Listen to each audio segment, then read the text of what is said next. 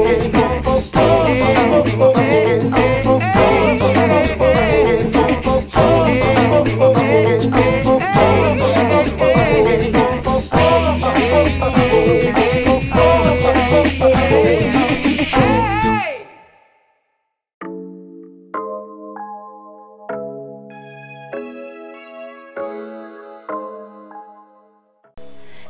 Today we're going to take you through a tour of our 2017 Fleetwood Pace Arrow 38K. We're also going to show you what we like and what we don't like. Let's get started outside.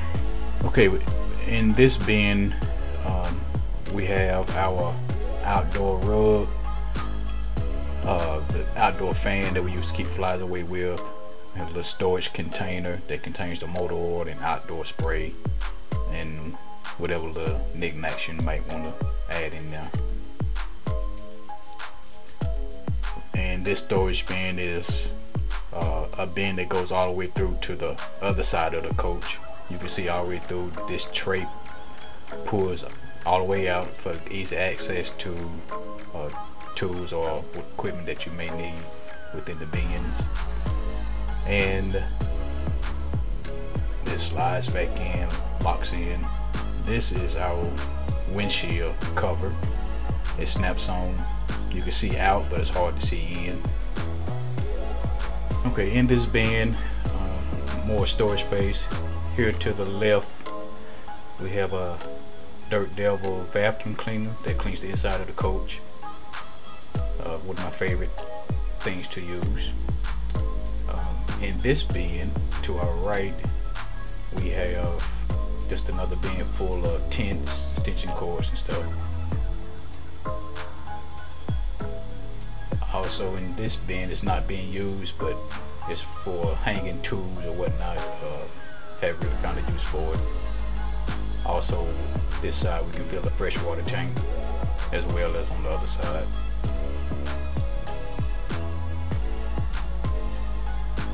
And in this bin, we um, have electrical fuses. Little storage space, but I wouldn't put nothing in it to uh, might mess up the electrical system, but it's space you can use.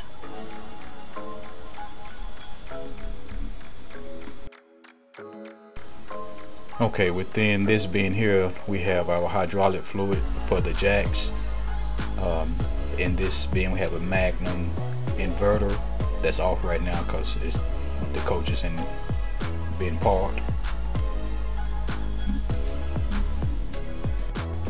All right, on the driver's side of the coach, we have in this storage bin the batteries. Uh, this operates everything inside of the coach. In this bin, we have another set of batteries for the coach, as well as the DEF tank that's used for the diesel.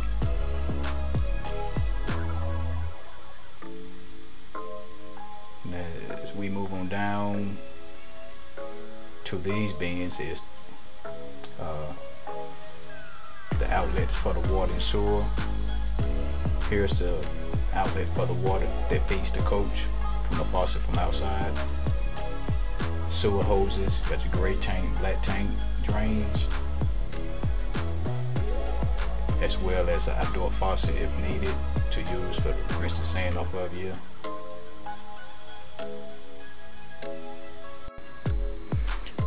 Alright, in these two large bins of the coach, um, once I get my keys and open them, we have more storage space um, that connects to the passenger side of the coach. Also, we have the winding electrical system. And as you can see you can see all the way through the coach to the other side. As well on this side we have the lever that pulls this large tray out. Easy access easy on your back uh, to more storage space as well. And this lever once locks back in in this storage bin we have our 100 gallon propane tank as well as a quick connect that's on the passenger side of the coach. Last but not least in this bin right up under the driver's side of the coach. Um, we have an air compressor unit, which is great to have to pump up the tires if needed. Also, we have in the bags covers for the windshield wipers and the mirrors that was left on the coach. On this coach, it has a diamond shield protector coating over it. Uh, you can see the little line here, what it is is a clear, almost like plastic type coating that covers from the windshield down to the bumper and it keeps well it don't keep bugs off but it keeps the bug off the original paint and easy to wash and uh, stops the fading or acid from the bugs that may get directly onto the paint. And I think Diamond Shield will come out replace it if anything happens to this they guarantee they'll work for a lifetime of the coach. Here we have the awning that's not out right now but it is equipped with LED lights. Uh, comes out about 10 foot or so maybe 12 inside. Here is the TV Bluetooth radio. To sit outside. And listen to music. Welcome to our home on wheels. Come on in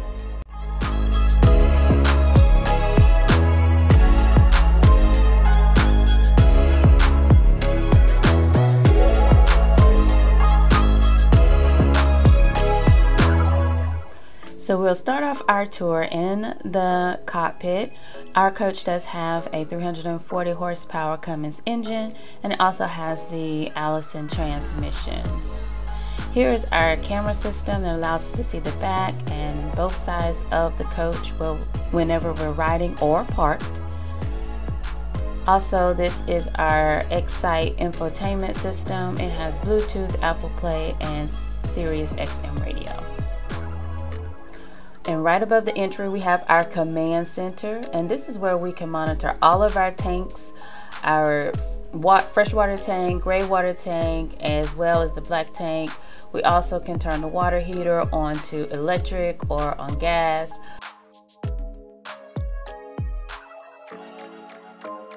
We also have our central heating and air uh, in the RV comfort monitor here. We also can control the awnings and the step extend and all of that right from this panel. And in this cabinet, we have the Dometic awning control panel and this panel actually controls the awning. If the wind gets too high and the awning's out, it will automatically bring it in for us. And here are our speakers in the front of the coach. There's one on both sides of the coach and then also what I call a reading light right in front of it.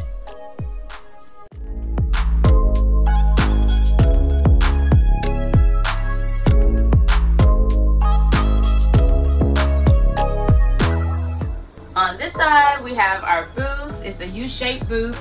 This table does fold down and it will make into a bed. And what I like about this booth as opposed to the one we had in our other RV the other RV was a little bit short, so you had to be a real short person to fit in that booth. But with this one, um, it actually is long enough, it's seven feet long, so it's long enough for most adults to get in and sleep comfortably.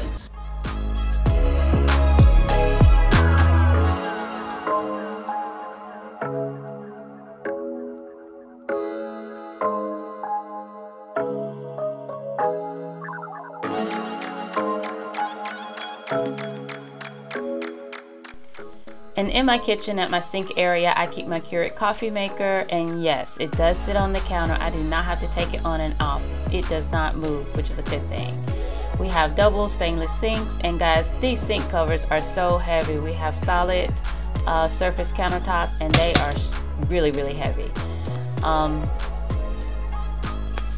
Underneath the sink, we have switches here that control lights in the front of the coach, the water pump, as well as the fantastic fan.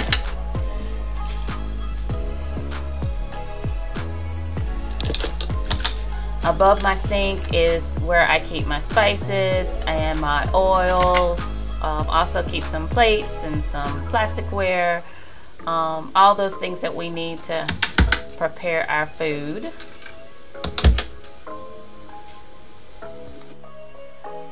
And this is a toaster oven, guys. One of the things that I really miss is having an oven. Because we didn't have an oven, and y'all know I like to make my toast, so I had to get me one of these. It's a Sam's special, wasn't very expensive. I think about $150 for it, and I just want to try it out. I've never had a toaster oven, so we'll see how it works out. And underneath these covers, of course, is my three burner gas stove. A lot of the models um, in this year came with the electric stove top, but mine, I believe, was requested by the previous owner to have gas, which I don't mind. I actually do like cooking with gas, so I'm good with it. In these drawers, I keep some plasticware. Um, here I keep a cutting board, some knives, my oven mitts. Um, and then I'm not gonna even open that drawer, guys. That's just junk. You know, every kitchen has to have a junk drawer, right? So I'm not gonna do that. and then in this drawer, I keep my silverware and my uh, long-handled utensils, as well as some plastic bags and um, aluminum foil. These drawers are all awfully deep, which I really appreciate. Um, here I keep my um, baking pans nestled together that I don't hardly get to use anymore since I don't have an oven. But anyway, and also I keep some um, bowls. And then here we have a stainless steel residential refrigerator, which has lots of deep space. We hardly ever fill it up. And right now we're in storage, so there's no food in the refrigerator. It's not even turned on. Um, but um, when we do have to stock it, it's really nice. And then here is the convection microwave oven. And guys, let me tell you something. I am not a fan of convection ovens. I'm just not. I gave it an honest try. It's just not for me. And here we have a cabinet that I use as my pantry. I do wish I had sliding drawers but I don't. I might add them later though, so stay tuned. Again, no food because we're in storage. And here, guys, is one of my husband's favorite things. It's this Dirt Devil Central Vac. Y'all ask anybody who has ever camped with us. My husband can be found in here with the hose attached to that thing, cleaning the floor several times a day. I mean, it's one of his favorite things to do. Didn't know he would love it so much. And here we have one of three televisions in the coach and there's a sound bar located underneath. There's also LED lighting right above the fireplace. The fireplace also is for giving off heat as well as just lighting or um, ambiance.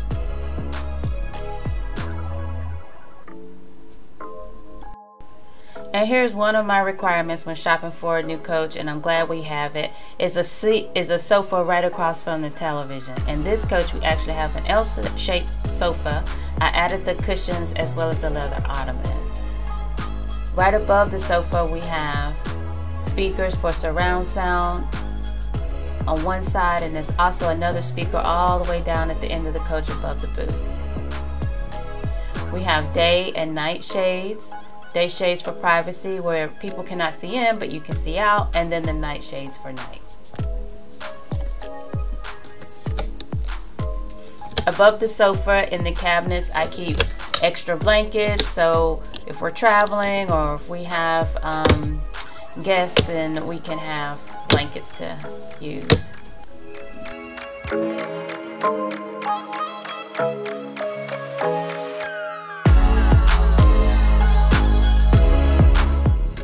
In the half bath, we have lots of storage cabinets and the fantastic fan. And now we're into the bedroom. Of course, we do have sliding doors to close off the bedroom suite. We have a king size memory foam mattress.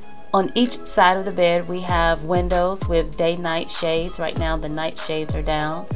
We also have speakers above the bed that are um, connected to our sound system throughout the coach. Lots of storage above the bed. And night lights on both sides of the bed.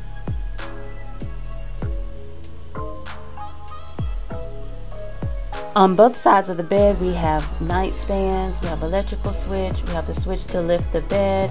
We also have a switch to turn on the generator and a little storage cubby. And on the other side of the bed is where we keep our clothes. We have his and her uh, full size storage closets. We also have storage drawers and a television.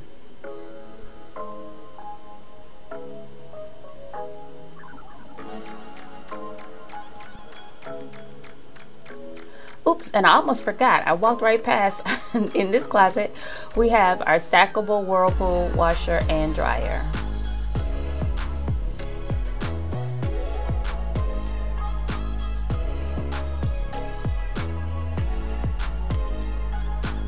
No master suite would be complete without a bathroom. So we do have a full bathroom in the back of the coach. The window back here also serves as the emergency exit. It has day-night shades. And we have a push button toilet. I don't know what you call this toilet, guys. I'm sorry. Y'all, if anybody knows, leave me a message in the in the comments. We do have more solid surface countertops and deep cabinets for storing towers and such. Of course, um, we don't have it fully stocked because it is, again, in storage. But we do have deep drawers in the bathroom. Uh, we have a glass enclosed shower with a seat. And at the top, we have a very large skylight, dome skylight. The skylight is great to keep the bathroom from being dark in the back of the coach, but I have to close the bathroom door at night because in the morning the light is so bright it wakes me up way too early for a camp morning.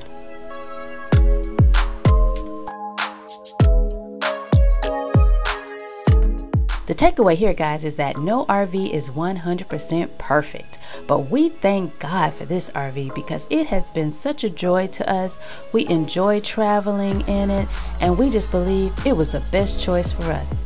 The word says that God gives us all things to enjoy, and it is such a blessing.